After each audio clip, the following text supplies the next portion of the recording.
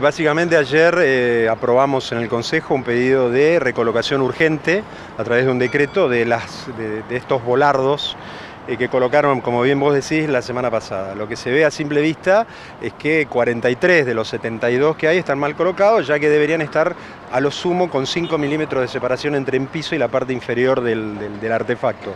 Eh, en la mayoría de los casos de estos 43 que están mal colocados está entre 2 y 4 centímetros. El problema es que de esa manera los cables están expuestos, los cables están a la vista y cualquier criatura puede tener acceso a esos cables, teniendo en cuenta que son cables que están a 220 watts, independientemente de que las luminarias LED podrían funcionar a 12 voltios, la verdad que estas están colocadas a 220 watts, que eso ya de por sí es un error de diseño.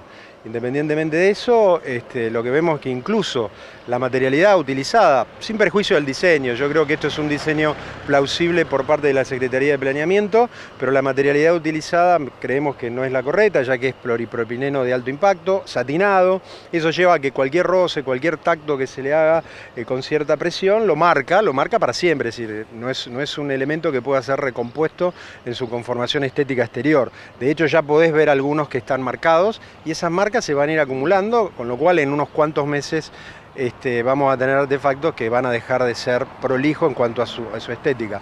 Ya había algunos que no funcionaban. Ya había cuatro, eh, el otro día pudimos ver, insisto, a cuatro días de, su colocación, cuatro que no funcionaba la luz que tenía para abajo, casualmente en este momento están reparando eso y casualmente, gracias creo yo a lo que promovimos del Consejo, también están volviendo a colocar los artefactos correctamente.